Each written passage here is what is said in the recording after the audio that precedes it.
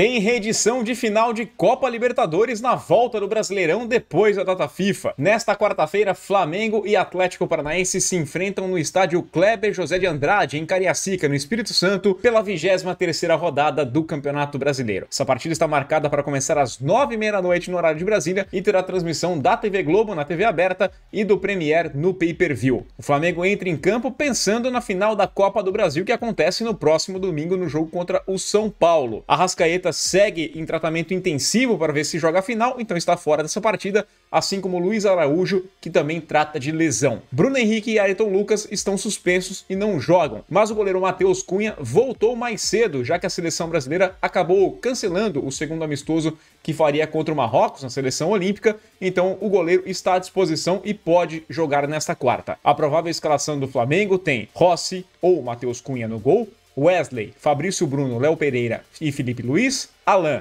Thiago Maia ou Everton Ribeiro, Gerson e Vitor Hugo, Gabigol e Pedro. O Atlético Paranaense busca algumas revanches, afinal perdeu a final da Libertadores e também as quartas de final da Copa do Brasil para o Flamengo. Fernandinho expulso e Vitor Roque suspenso pelo terceiro cartão amarelo são desfalques certos. Bento segue fora lesionado, enquanto Canóbios, Apele, Nava, Lucas Esquivel e Mikael todos convocados para seleções, são dúvidas para este confronto. A provável escalação do Atlético tem Léo Link, Madison, Thiago Heleno, Kaká, Vinícius Cauê ou Esquivel, Eric, Alex Santana ou Hugo Moura, Vitor Bueno, Tomás Coelho, Pablo e Rômulo ou Thiago Andrade. Não perca tempo e se inscreva no canal do All Sports. Estamos quase chegando em um milhão de inscritos. A programação é sensacional. De segunda a sexta, a partir das 11 da manhã, tem o de primeira com Bruno Andrade e Marcelo Azam, PVC, trazendo tudo dos bastidores do futebol. Depois, às 6 da tarde, tem o fim de papo com todas as informações do dia. Então não perca tempo, se inscreva no canal do All Sports, curte esse vídeo e deixa aqui embaixo o seu palpite. Quem vence, da Flamengo ou da Atlético Paranaense?